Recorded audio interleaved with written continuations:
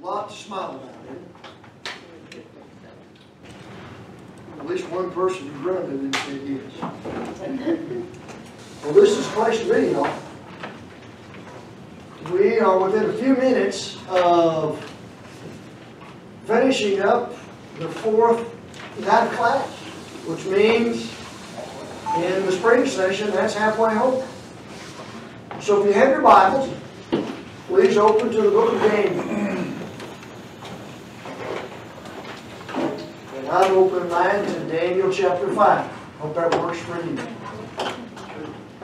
Daniel chapter 5. Okay. Brother Keith, would you lead us in prayer before we start tonight? Dear kind and gracious Heavenly Father, we thank Thee for this day, this beautiful day that You've given us. We're thankful for this opportunity that we have to assemble together to- at this time to, to study another portion of Thy Word, Father, and to increase our knowledge. We're so thankful for the congregation here at Griggs Lake Road that makes this opportunity available to us. Father, we are mindful at this hour of those who are sick. We ask that You might look down in your love and tender mercy, and if it be in accordance with your will, that they might be restored to much good health. Father, we pray that you'll be with us now as we go through this hour of service and on down through the rest of our lives. Forgive us our sins. This is our prayer in Jesus' name. Let's do a 17 second review of Daniel chapters 1 through 4. Chapter 1, we read about the reality that God gave Judah into the hand of Nebuchadnezzar. He took a group of Jewish captives. They picked out some of those young Jewish men to train them in the ways of the Babylonians. And there we're introduced to Daniel, Mishael, and Azariah. Uh, at the end of chapter 1, they were in good favor with the king. Chapter 2, we read that Nebuchadnezzar had a dream. And who was it that explained that dream? Daniel did. And he saw a great image, and that image uh, was representative of four uh, earthly kingdoms. And then he saw in this dream a stone that came and, and smashed that image, which was a symbol of the kingdom of God, right? Chapter 3, uh, Nebuchadnezzar had an image built out of gold, and the charge was for every doubt one to bow down and worship it. And one who refused to do that was going to be tossed into what? Fiery furnace. And then, of course, uh, Mishael, Hananiah, and Azariah, they were tossed into it, but God uh, rescued them from that. And Nebuchadnezzar had some good things to say about their God. And then in chapter 4, we read that Nebuchadnezzar had another dream. And lo and behold, who came in to explain it? Daniel. He said, You saw this great tree that filled up the earth. And the tree was cut down, but the stump remained. Well, that tree was symbolic of whom? Ganesh. And uh, one of the main thoughts in the explanation was that Nebuchadnezzar needed to learn a lesson. And the lesson that he needed to learn was what? God rules and kings. God rules in the kingdoms of men, and he sets them up and brings them down, and he gives that authority to whomsoever he desires. Now, Nebuchadnezzar was convinced that someone was really special. And who was Nebuchadnezzar ready to pin that special badge on? On himself. So he needed to learn that lesson. He was sent out to live among the beasts with the wild donkeys and to eat his grass like oxen. Well, time got away from us. That was a little more than the 17 second version. But that's where we are. Now then, in chapter 5, we're going to be reading about the fall of a mighty, mighty powerful empire. And what is that empire that comes crashing down that has the record in chapter 5? Babylonians. There's a man named uh, in verse number 1, and it's not Nebuchadnezzar. It's the name Belshazzar. Now, see if I've got this correct. In the book of Daniel, Belshazzar, without a T, is another name for Daniel. Have I got that right? Belteshazzar. No. If you're talking about Daniel, it looks awfully similar to the name Belshazzar, but after the B-E-L, it has T-E, correct? Belteshazzar. Well, this Belshazzar, the king mentioned in verse 1, king of which empire? Babylon. Babylonians. Name. We've got a notation at the beginning of chapter 5 in our booklet about the chronology. And as much as possible, we try to keep track of chronology. But let's do this. Look in your Bible in chapter 7 and verse number 1. What's the timeline that's given in chapter 7 and verse 1? First year of The first year of Belshazzar. Now look in chapter 8 and verse 1. What's your timeline there? Third year. Third year. Now, I promise this is not a tricky question. Which would have come first? The first year of Belshazzar or the third year? first. And so, what we'll study next week in chapter 7 about Daniel's vision of these beasts that come up out of the sea, that's in the first year. And what we're going to read in chapter 8, where the spotlight is on two of those kingdoms, the Medo-Persians and the Greeks, that's the third year. Now, in general terms, come back to chapter 5, at what point in Belshazzar's life do the events described in chapter 5 transpire? At the end. The end of his life. How do we know that? Well, at chapter 5, verse 1. Belshazzar the king made a great feast. To a thousand of his lords and drank wine before the thousand. And as they're drinking that night, drinking themselves into a drunken stupor, something happened. Look down in verse 30, 30 of chapter 5. In that night, does the New King James say the same night?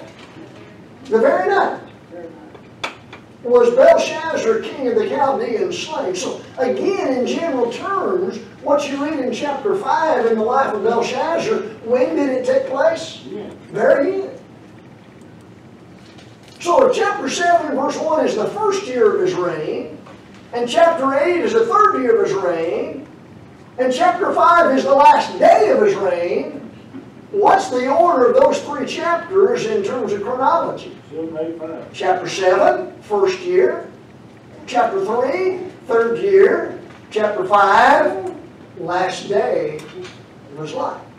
You say, well, how does that affect the message that Daniel communicated from the God of heaven? Doesn't change it one whit. But it is a reminder that sometimes things are written in the Bible and they're not written chronologically. You say, well, isn't that a problem? It would be a problem. If a Bible writer says, I'm going to write these things in order, and then he doesn't write them in order. But if a writer of a particular book does not make the claim, I'm going to write it in order, then there's no reason to assume in every case that it's in that specific, that order which we might have in mind. So it's quite simple. So in chapter 5, what's going to transpire? Well, it's going to start out with Belshazzar. Does, does he have any inkling? When he's drinking that wine and, and putting on this feast, does he have any inkling that his life is soon to be snuffed out? No. You know, life's like that, isn't it? In, some cases, we can see a gradual decline in someone's health. Okay? And there are instances where it gets to the point that the medical professionals advise that we call in hospice. Because the end is approaching, based on how this is played out in other cases. And so, in some cases, we can get a feel that the end of someone's life i- is approaching. quickly. But is it also true that healthy people die? Is it true that young people die? And so we're simply reminded of the uncertainty. Now, what's the, what's the thought process for a number of rulers and they're having a feast with a thousand of their lords? What are they thinking? They've got the world by the what? By the tail. Well, Belshazzar was going to lose his life for that night. Now, if Babylon comes crashing down, who's going to cause that to happen? Well, the God's going to make it happen? And we, we've learned from study of Jeremiah in a previous time that, that God identifies who is it that's going to bring down the Babylonian Empire. Medo-Persia. And, and we're going to see that same thing here tonight in chapter 5. So you look in verse number 1, Bel, I'm sorry, verse 2. Belshazzar, while he tasted the wine, commanded to bring some specific vessels. And he said, We want to drink out of those unique vessels. Made out of what? Gold and silver. No styrofoam cups at this feast, y'all. And what about the origin of those silver and gold cups? Temple in Jerusalem. in Jerusalem. We, we've talked, we've mentioned, under Nebuchadnezzar, the Babylonians took a group into captivity and took some vessels. Took a second group into captivity, took some vessels. Took a third group into captivity and took some vessels. And here in this case, they're drinking out of those vessels. Well, historically speaking, the fall of Babylon is dated approximately, I'll do the hard part, BC hmm. 538. Okay? So somewhere about 50 years after the fall of the temple in Jerusalem. Now, what would that indicate on the part of the Babylonians that they're, they're willing to use these vessels as, as wine cups? What, what's that showing on their part? Disrespect for the God of heaven. The thought being that that, that God of the Jews, he, he, there's not really much to him. Okay? Now, in this chapter, in verse number 2, Nebuchadnezzar is described as being whom in relation to Belshazzar? Father, Father. Well, sometimes biblically speaking, the word father can refer to grandfather, and the word son can refer to grandson. Historical indications are that Belshazzar was the grandson of Nebuchadnezzar through Nebuchadnezzar's uh, daughter. Okay? So, in the process of them drinking, the Bible says in verse 5, in the same hour came fingers of a human hand, right? And, and what, what are those fingers of that human hand doing? Well, that's not uncommon for a human hand to write. Have you written anything tonight? Nothing uncommon about that, you know. But what's going on with this human hand? Where's this writing taking place? on the wall. On a wall. And what's the king's response? He's terrified. He's terrified. He, he, he's literally got his knees doing what? Knocking. knocking together. He's literally got his knees knocking together according to verse 6. Well, his first line of thought is somebody's going to be able to come in here and explain this stuff. And his thought goes to whom? The wise man. First to his own folks, right? The astrologers, Chaldeans, soothsayers, verse number 7. How, how did that work when Nebuchadnezzar had dream number 1? didn't work. Didn't work. How'd that work when Nebuchadnezzar had dream number 2? Didn't work. Didn't work. How'd it work in this case? Didn't work. Didn't work. And so the king, uh, well, the, the, the queen, the, the, the queen has a recommendation. What's that recommendation? Call Daniel. At Daniel. There's this fellow, there's this Hebrew, and, and there's a man, verse 11, in whom is the spirit of the holy gods in the days of your father, that is Nebuchadnezzar. Uh, light understanding of wisdom, like the wisdom of the gods was found in him, whom the king Nebuchadnezzar thy father, the king, I say, the father made master of the magicians, astrologers, Chaldeans, and soothsayers. And she said, hey, call him in. He's been brought in, according to verse 13, out of Jewry, out of Judah, and let him tell you what it, what it means. And so Daniel's brought forth, all right?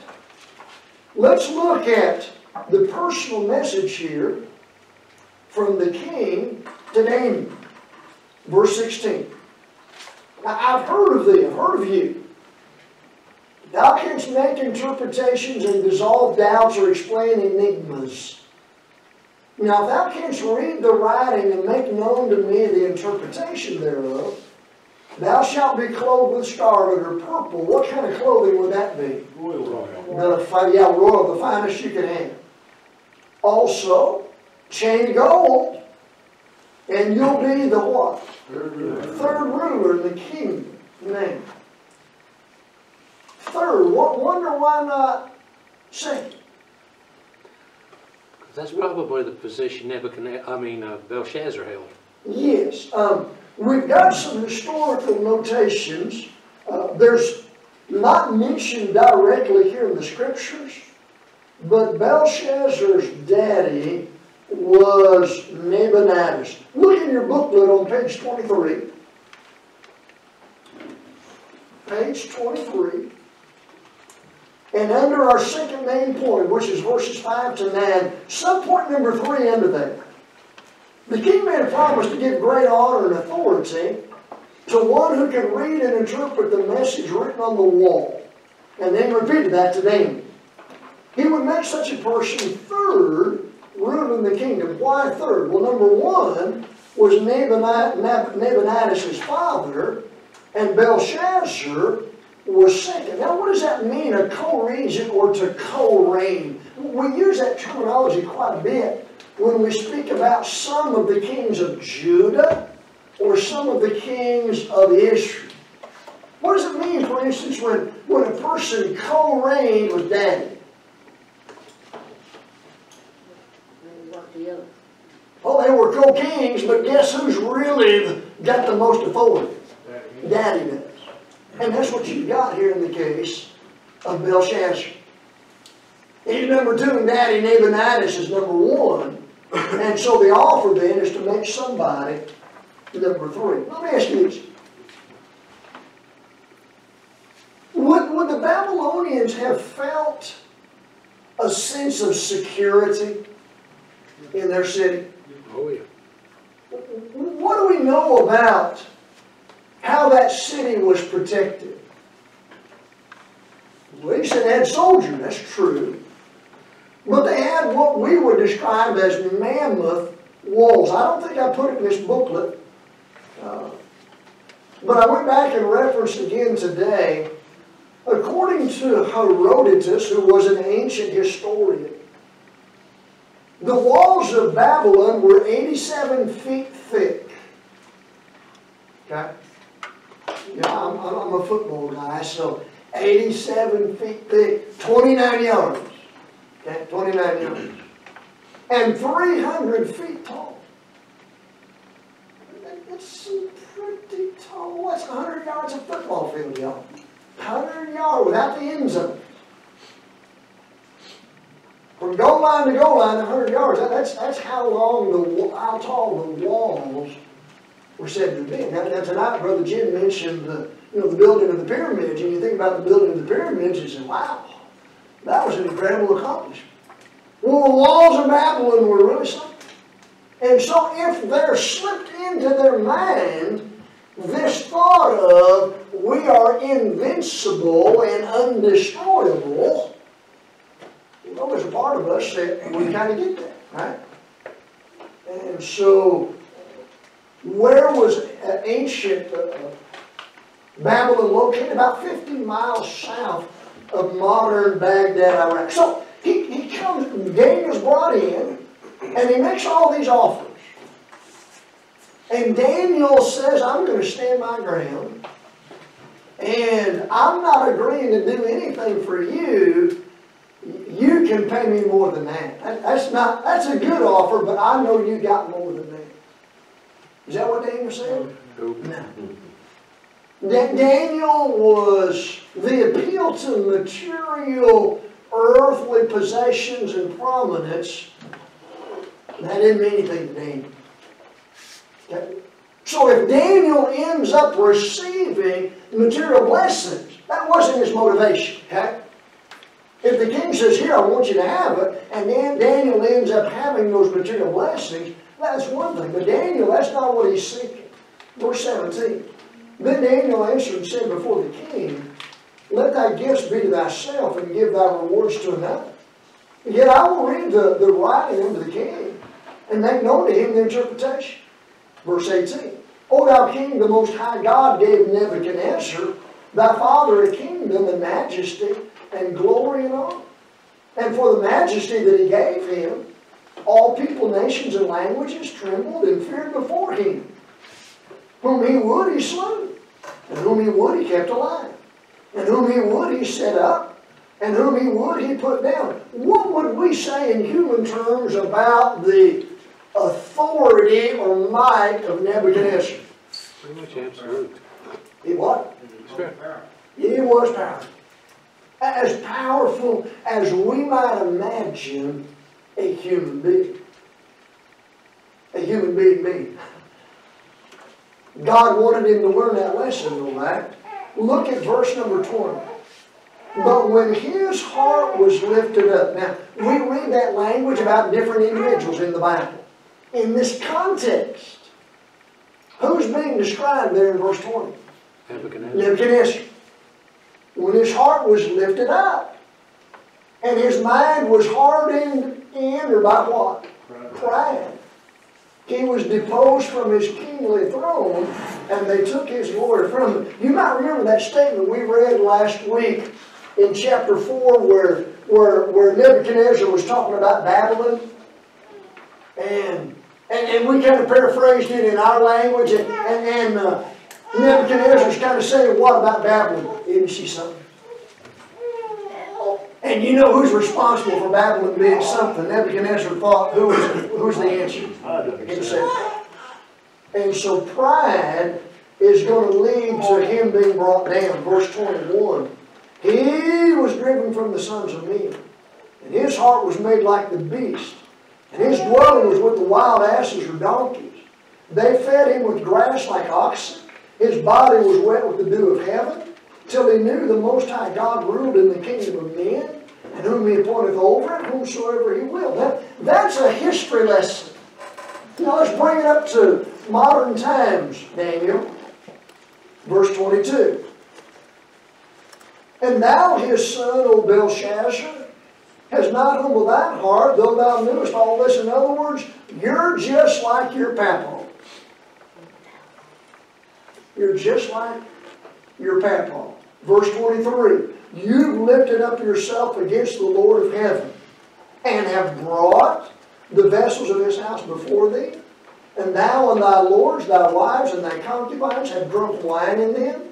And thou hast praised the gods of silver and of gold, of brass, iron, wood, and stone, which see not, nor hear, nor know.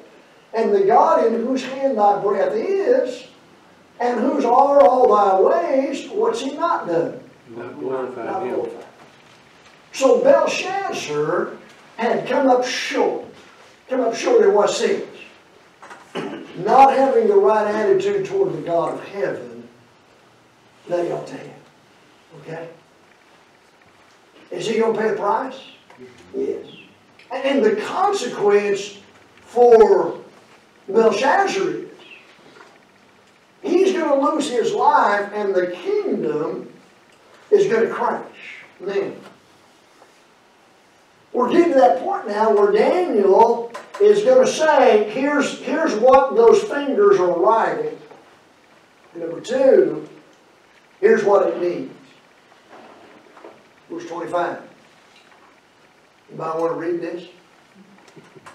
This is some of those fun verses to read, y'all. And this is the writing that was written, mene, mene, tekel, upharsin. This is the interpretation. Meaning, God has numbered thy kingdom and finished it. In other words, what? You're done. Why? Who says? God. God. When God says you're done, you're done. Right? Tekel, 27. Thou art weighed in the balances and art found wanting. Somebody says, well, well, why is God wanting to pick on Belshazzar? God's not picking on Belshazzar. God, with the eyes of justice, has weighed the attitude and actions of Belshazzar, and Belshazzar didn't what? Didn't pass the test. And God, in His infinite wisdom and justice, decided now is the time for Babylon to come down. Because remember, God had said Babylon was going to rule in the Middle East for how long? Not 770, that's exactly right. 28. Peres. Your kingdom's divided and given to, and identities given, the Medes and Persian. Keep those names in mind. We'll see them in full color in chapter 8. Then commanded Belshazzar, and, and they gave Daniel the blessings of the, the clothes and the chain, and he was made third in the kingdom. Okay? Well, how long is that going to last? I never really thought about that too much until going over this lesson again. For how long is Daniel going to be third in the Babylonian Empire? Just a little while. Just a little while, because uh, that night is going down. And that night was Belshazzar, the king of the Chaldeans, slain, and Darius the Mede, or Mede, took the kingdom about 62 years of age. History indicates that the first emperor of the Medo-Persian Empire was Cyrus. And so the indications are that this fellow, uh, Darius, was perhaps an administrator, Cyrus appointed person to, to take care of activities in the early days uh, after the fall of Babylon. Now, so we've got a transition, y'all, in chapter 5. We're transitioning from the Babylonian Empire to what? Medo-Persian. The Persian Empire. True or false? By the power and providence of God, Daniel was elevated to a high position in the Babylonian Empire. Is that true? Correct. Yes. That was true under the days of Nebuchadnezzar too, right? True or false? When the Medo-Persians come into power, Daniel, by God's power and providence, is going to be elevated in the Medo-Persian Empire. Correct. That's true. Now, let's get a ballpark figure, okay? When the Medo-Persians come to power under Cyrus, how old is Daniel at this point in time? Yeah, it got, gotta be right. You know, what we said it back when we looked at chapter one, that the Babylonians handpicked these young Hebrew males they thought would be suitable for the training that they wanted to give them. And we said at that time, most commonly the estimate is that those young Hebrew boys would have been between the ages of 15 and 20. But they're old enough to demonstrate their intellect and their abilities in certain areas, that they're physically fit and so on. So, how do we jump though from that age down to say he's got to be in at least his 80s? How do we get to that point? 70 years, right? The captivity. Now we know from other passages that Cyrus, when he comes to power with the Medo-Persians, he's going to grant the Jews the liberty to do what? Go home. Go home and build the temple. And we read about that. I'm going to do the hard part in chapter 1. Now, what book is it? In the Old Testament, what we read about as uh, uh, Cyrus giving them the opportunity to go home. Duh, what is it? Ezra, that was not intentional. That's a Monday night at 9:30 night episode. So yeah, he's been there for 70 years in captivity. So when you get to chapter 6, if you're ever teaching a class of cookie crunchers or, or white-headed people, if you've got a picture, your, your, your, your color and a drawing, or you use a slide, and it's got Daniel too young to shave, he's still a young boy, that's, that's way off. He's not a young boy. Picture, picture somebody you know right now that's 85 or 90 years old. And just picture those people because of their allegiance to the King of Kings and Lord of Lords, they're tossed into a lion's den. That's what happened to. So why are they messing with lions? Well, if you look at our booklet, chapter 6, the layout, on page 27, the first three verses, the overview there at the top of the page, Daniel's elevated to a high position, right? Well, how do they get to that point where Daniel gets tossed into a lion's den? What's the background to that? Does somebody have their eye out for Daniel? Yes. Who is that? Well, let's, let's drop down, y'all. Look at verse 1 of chapter 6. and I know this name, if it's, it's put in the, if it's a modern day country singer, it's Darius, okay? Or Hootie the Blowfish, it's, it's Darius. But in the Bible, it's more commonly pronounced Darius, all right? It pleased Darius to set over the kingdom 120 princes or satraps, which should be over the whole kingdom, and over these three presidents or governors, and who was the number one? Daniel. Daniel. Okay?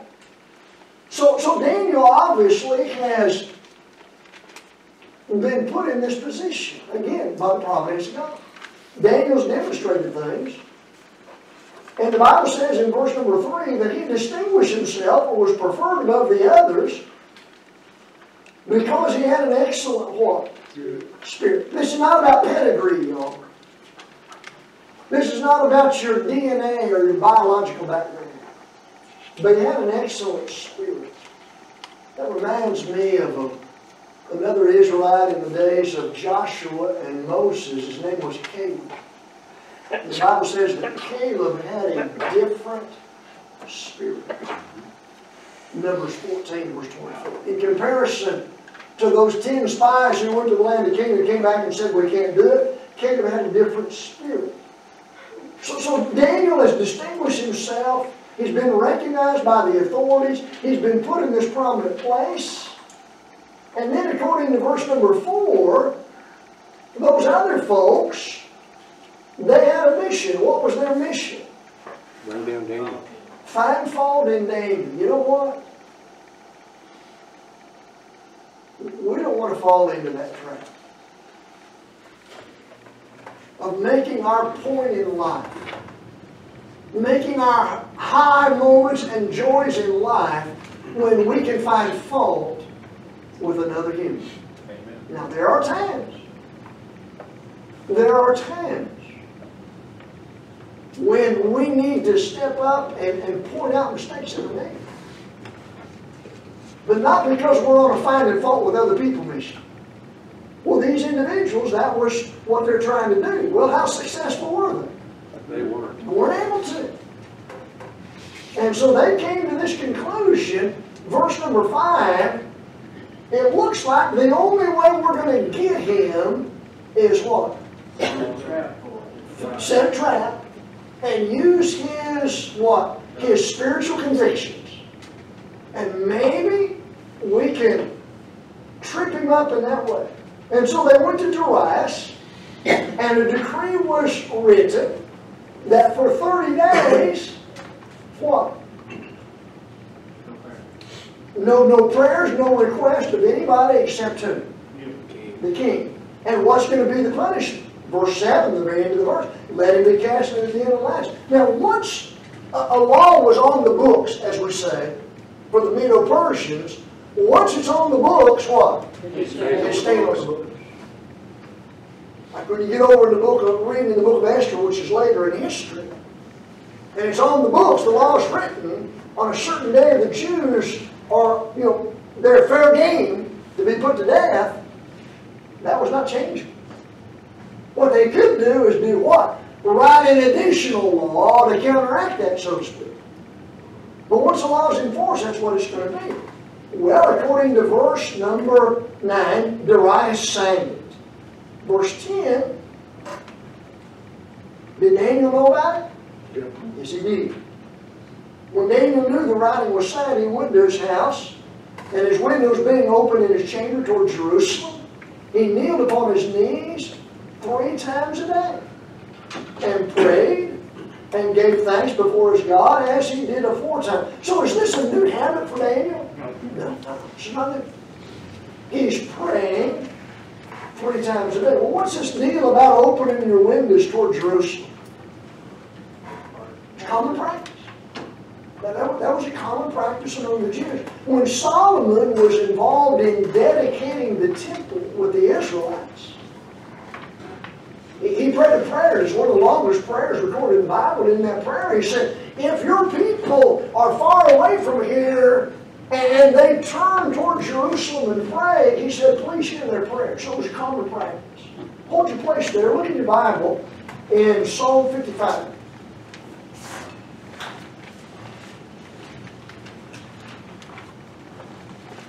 He said, Brother Campbell, I got up early this morning to write out the answers to my questions. Do you mean you're not going to ask? We're going to get there.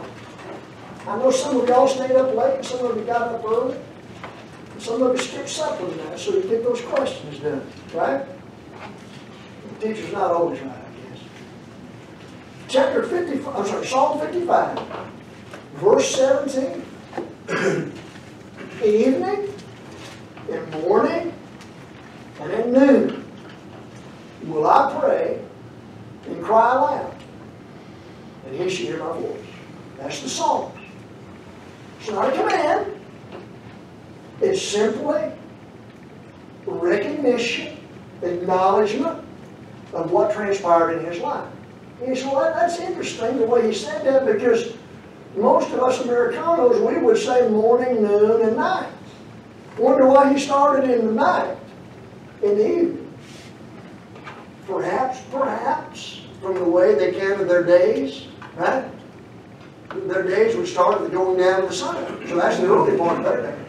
Okay? So what I'm saying is, Daniel having this habit of praying three times a day, he, he wasn't the only one who would be of that mindset. And so the word got to the king, and how happy was the king that Daniel was going to get tossed with the lions? Why, why not? He liked it. Respect for the guy. You see in verse 14? Then the king, when he heard these words, that is what was going on with Daniel, because the word was, hey king, there's this Jewish man, and he's not doing what you said to do. He didn't have respect for you. So the king's displeased with himself. Why would he be displeased with himself? He's the one that signed the law. He's the one who signed the law. But no going back on it. Because the law of the Medes and Persians can't be changed. So he's, it says in verse 14, he's till the sun's going down, it looks like he's trying to come up with what? A way to get Daniel. A way to keep, keep Daniel from going through this. Okay? Verse 16, the king commanded, they brought Daniel, and cast him into the den of lions. And the king spake and said unto Daniel, Thy God whom thou servest how? Continually. He will deliver. That's an acknowledgement. Again, you don't get the impression that Daniel's trying to impress people. But Daniel just, in Jesus' language, being the salt of the earth and light of the world day in and day out, what did people recognize about him? He serves the God of heaven. He does it continually. And I didn't use that word formally, but I think it's maybe in the booklet somewhere. When those other people could not find fault in Daniel, that's what the Bible in the New Testament calls Blameless. Not faultless. But if a person is blameless, there's nothing in their life that's unresolved that needs to be resolved. There's, there's nothing on their part that they've left undone that they need to be. They're not perfect. But Daniel was a blameless person. So the king goes to the palace. The next morning he comes back and, and guess who's there to greet him? Daniel. Verse 20. And when he came to the den, he, Darius, cried with a lamentable voice unto Daniel, And the king spake and said to Daniel, O Daniel, servant of the living God, is thy God, whom thou servest continually, able to deliver thee from the lions? What's your answer? O King, live forever. Yes, king live forever. That's right, here I am. What was that other case in the book of Daniel prior to this, where God delivered faithful servants out of danger? Yeah, the three Shadrach, Meshach, and Abednego, right? And what about their, their physical body and the stench and all of that? You wouldn't have known they'd been in the fire unless you'd known they'd been in the fire, right? So Daniel gets out, as we say, unscathed, untouched by the lions. Did anybody lose their life in the lions den? Uh, Yeah, Who did? his enemies. Those guys that tried to railroad right and get him in prison, right? Put, put it, put to bed. So what's that show you about those lions? Were they real lions? Yeah. So what, what, how do you explain then that Daniel wasn't harmed? God protected. Okay. God protected him uh, from that happening. Well, Nebuchadnezzar had some great things to say about God, right? What about Darius? He does too. Look in verse 25. Then King Darius wrote unto all the people, nations and languages that dwell in all the earth, peace be multiplied unto you. I make a decree that in every dominion of my kingdom men tremble and fear before the God of Daniel.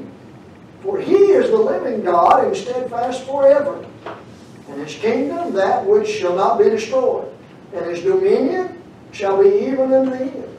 He delivereth and rescueth. He worketh signs and wonders in heaven and in earth.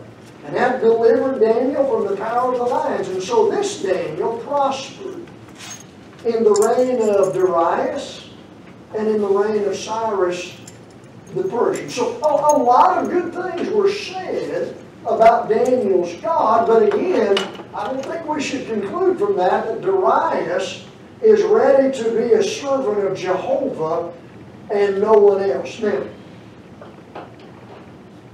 who, who are those two other individuals in Old Testament history, God's children, who were in a foreign land, who were raised up to a prominent position in the government? Who were the other two besides Daniel? Joseph. Joseph. Joseph in Egypt, and the other, Esther. Esther. Yeah, Moses had a prominent place in, in, in, the, in the sense that he was Pharaoh's daughter, you know, raised up. But yeah, Esther and, and Joseph and Daniel. Okay? So, so what do you see in this chapter about Daniel that resonates with us? What is there about Daniel that says, hey, for a young person or for a middle-ager or for an old-timer like me, here's something in Daniel's life that's worthy of imitation. What would you say? Serving God. What does a servant of God do? He serves God. He doesn't just think about serving God. He doesn't just pray about serving God.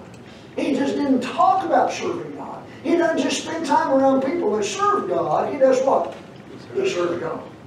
What's the second thing about Daniel? Did I hear another answer right there? What else do you appreciate besides that? Courage. Courage, Trusted God. trusted God. You know, it- it's that same thing we saw back in chapter 3 in principle. Here's what a human decree says. Here's a law made by humans. And here's the expectation from the Godhead.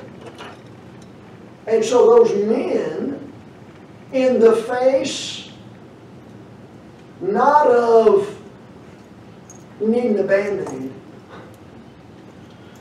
but in the face of that being their last day of life, what choice did they make? God. God. Again, not to make a name for themselves, and not to be in the king's face, just because that's who they were. We may not face a fiery furnace like they faced, or a lion's den like Daniel faced. But we'll face challenges. And we'll face pressure. We may face ultimatums where our jobs are threatened. or friendships with threatened. And we can learn from these men.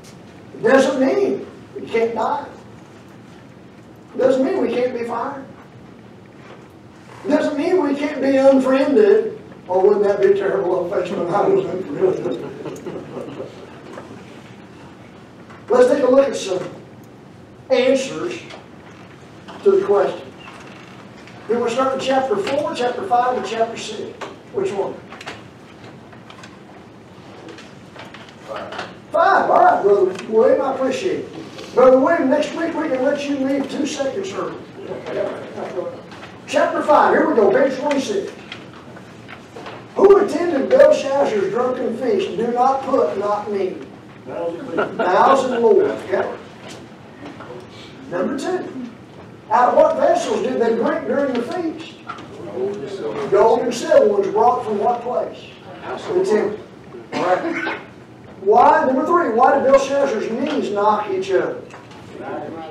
Terrified by the man's fingers right on the wall, correct? And that's before he knew what it meant. Right? He was knee knocking before he even knew what it meant. Number four, who was unable to read that Latin? The wise men, the astrologers, the Chaldeans, the soothsayers. Who had a good idea about asking Daniel's help, number five? The queen. King's wife. King's wife. What earthly rewards, number six, did Belshazzar promise? He. Clothes, jewelry, and uh, third, third, third place, right? I don't mean third place like a bronze medal, I mean third ruler in the kingdom. I didn't really say that to me. Number seven. Well, what was Daniel's response to that offer? I'm not interested. Not interested. Number eight. What did Daniel remind Belshazzar about how God had dealt with Nebuchadnezzar? God had given him a what? Kingdom, majesty, all that. When he was lifted up with what, he lost his throne? Pride. And God wanted him to learn that the Most High does what? Rules in the kingdom of men. Number nine, what sins did Daniel accuse Belshazzar, Belshazzar of committing? His heart, he didn't humble himself, right? He praised the what? The dumb idols. Yeah, the, the lifeless uh, materials. And number three, he failed to glorify whom? God who God rules did. over you. Okay. So there was open idolatry, there was manifested pride, and failure to serve the God of heaven. Number 10, here's a takeaway we didn't mention. For each of us, our life and breath are in whose hands? God's hands. And then finally, what was the basic meaning of the words on the wall? When you say, which wall? That wall. You know, you're Going down. you're going down. You're going down. To whom? Medes and Persians. Well, I'll tell you what we're going to do. We're going to put the pause button here. Next week, we, we've given ourselves the task of covering chapter 7.